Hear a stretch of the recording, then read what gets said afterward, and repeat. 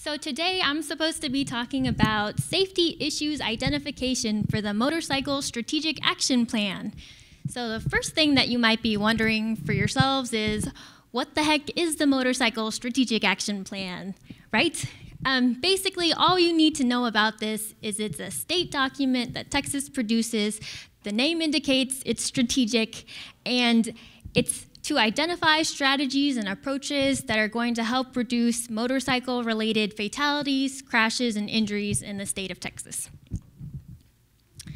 The first strategic action plan was released in 2013, and this was our first attempt at a strategic plan for Texas.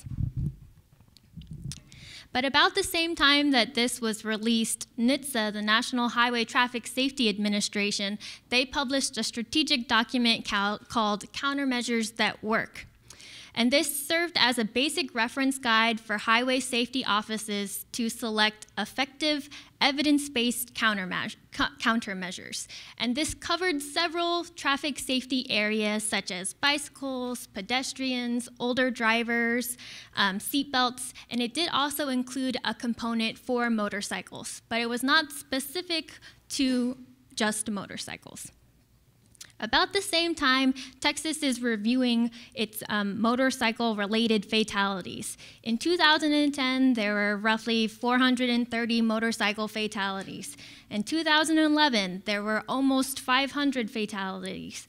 In 2012, it went down a little bit to 470 roughly, and in 2013, it jumped back up to 500. So Texas is sitting over here wondering what are the projections going to be like for 2014, 2015, and beyond. So what they did was they were very proactive and they asked to undergo a motorcycle technical a technical assessment for its motorcycle safety program. And this involves bringing in different objective experts from around the country to come and hear testimony that's provided by Texas stakeholders, Texas motorcycle stakeholders. And they provide testimony regarding what's working in terms of the motorcycle safety program, what's not working, what are some of the challenges, and then this objective expert team basically produces a list of recommendations or suggestions that the state can implement. So this came about in 2014. In 2014, also, TxDOT released their Texas Strategic Highway Safety Plan. And again, this covers other traffic safety areas such as the bicycles, the older drivers, the pedestrians, and it does have a motorcycle component to it. And it also talks about strategic planning, and it moves beyond some of these other areas. But again, it's not specific to motorcycles. So it's a year 2016, uh, TxDOT has asked that we revise the strategic action plan, the one that was first come about in 2013, because all of these strategic documents had been published in that time, and because of some other workings that had happened in that time, it was basically just time to revise this action plan. One thing that they specifically asked for, though, was that we hold focus groups with various motorcycle safety stakeholders and that we get their feedback regarding all of the suggestions and strategies that have been suggested that Texas implements in order to give some sort of priority to them. Because the state can only reasonably implement so many of these countermeasures at one time they ask that these stakeholders help prioritize and help give rank to which ones the state should pursue. So what we've been doing is we've been holding five focus groups. And thus far, we've only thus far we've conducted four out of the five, um, and each focus group is tailored to a certain expertise, a certain background. So we've had one focus group that involved the state strategic level, and this involved um, we've had another focus group that involved uh, community leaders to give more of the localized perspective. One focus group has involved law enforcement to give the enforcement perspective. The fourth focus group has centered around riders, which included club members as well as independent riders. And the fifth one, which is going to be held next month, is going to involve the media, and it's going to give that outreach perspective. Now, these are relatively small focus groups There are about five to eight people within each of these focus groups, and we've kept them small on purpose in order to give a healthy discussion, in order to ensure a healthy discussion that everyone there is participating um, and everyone has an equal opportunity to, to speak.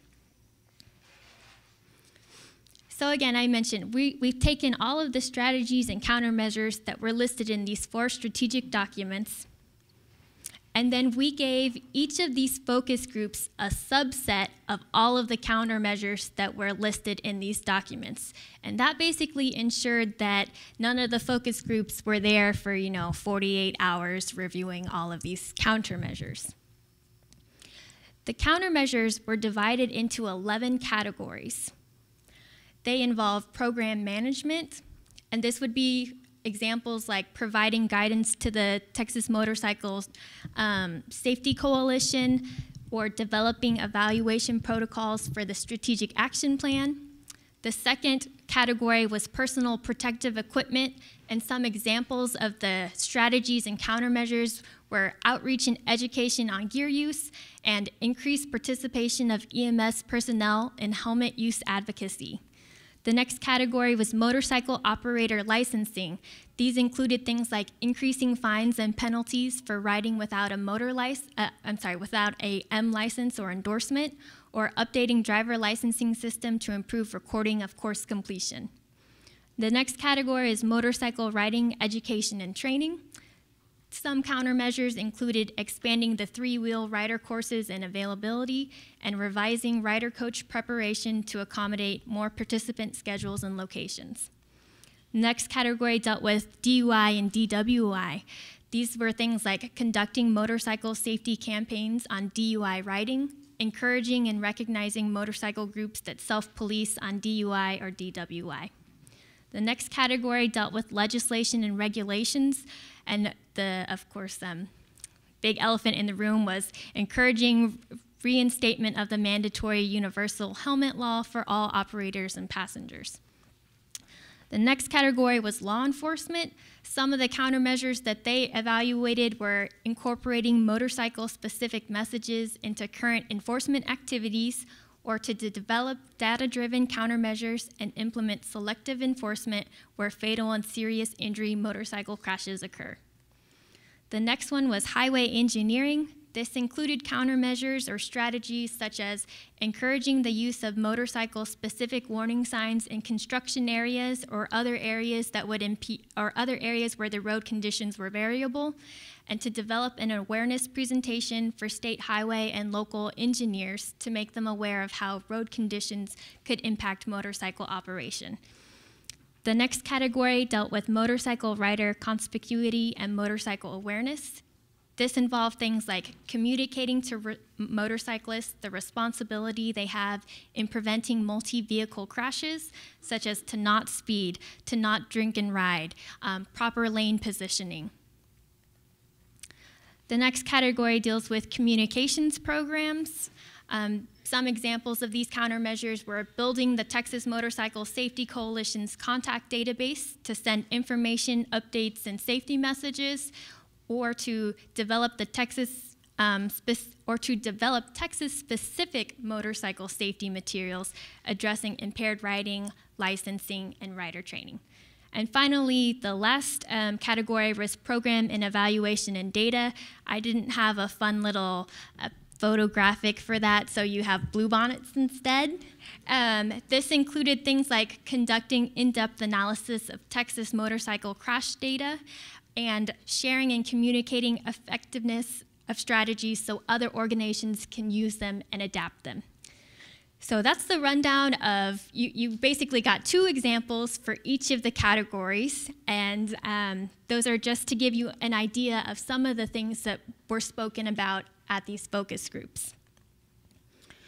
What we have next, though, is we are asking you what is being distributed to you all is we're asking you to participate in a research component you know, we've talked about that we met with these focus groups already, and they've already given us some preliminary prioritization of these safety countermeasures.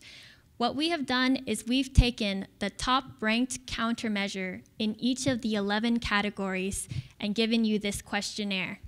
Now you might see that there, I told you there are 11 categories, and we're asking you to rank them 1 to 14. There are actually 14 countermeasures listed because in some of the focus groups there was so much discussion and so much debate that, um, that um, there was so much focus and so much discussion and debate that there was not a hard consensus about which one should be prioritized over the other ones. So you actually have 14 countermeasures. If you would like to participate, we ask that you review the information sheet that has been handed to you that just goes over some of the expectations and, and what it is that we're asking you to do if you're voluntarily consenting to participate in this questionnaire. The information sheet basically explains to you, you know, that we have it there for you because we're not, you know, like kidnapping you and holding you to making and forcing you to complete this questionnaire. Again, I'm just emphasizing it's completely voluntary. But as Mike was saying, this is your opportunity to provide feedback, to have a direct impact, and, and to give direction to the state of Texas and what kinds of countermeasures they should be prioritizing. So we're asking you to take the survey, that looks like this, and you have two pages. And if you stack it one on top of the other, you'll be able to see all 14 countermeasures. We're asking you to rank them 1 to 14, one being the most impactful, one having the most benefit in terms of reducing the number of motorcycle fatalities, crashes, and injuries, and one being the one that the state should prioritize over the other countermeasures. 14 being the opposite. You think it has the least amount of impact and you think it should be the least uh, prioritized out of all of the countermeasures. Then for your top five, we're asking you to just give a little bit of additional detail. We're asking you to rank it in terms of effectiveness, which is the second column. You give it a one star, means, yeah, it's worth pursuing, but you're not sure that it'll have the greatest impact and three stars being yes, this is this is the end all be all that we believe is going to have the most impact. So one star, not that effective, three stars, very great effectiveness. The third column here is we're asking you to estimate costs. We're not asking you to give us a specific number because we know that's quite difficult. But if you can give us a dollar sign, as in one dollar sign is fairly cheap, fairly affordable to, to implement, and three dollar signs, meaning that's the most expensive, um, that's the most expensive and would um, countermeasure to implement. The fourth column here is time. Give us a, a range, less than one year to implement, two to three years to implement, five years, 10 years, whatever you think is appropriate the uh, I lost count. The fifth, the fifth column here is lead organization. Who do you believe in your mind would be the organization that you would assign responsibility to spearhead or lead the effort of this countermeasure? And then the last column is what kind of milestones would you associate with the successful implementation of that countermeasure? It could either be measures that you need to meet in order to be successful, or, uh, or uh, sorry, I hope that made sense. Did that make sense? um, so basically, we're asking you to rank all of the countermeasures, 1 to 14, and then for your top five, to please just give additional detail. And again, this is completely voluntary, but it is it is an opportunity to, to make an impact and to give feedback and input into the direction of, of what countermeasures should be pursued in the state. So if there's any questions along the way, I'm happy to answer them. Um, we did have a thought that, you know, what if there's a countermeasure on here, or what if we've come up with a countermeasure or a strategy that's not listed on the, the sheet? Well, there's a possibility that it's already been discussed about in one of the focus groups. So what we're asking you to do is if you do have a suggestion, go ahead and just rank the 1 to 14 for the, the countermeasures that are listed. But then on the back of the paper,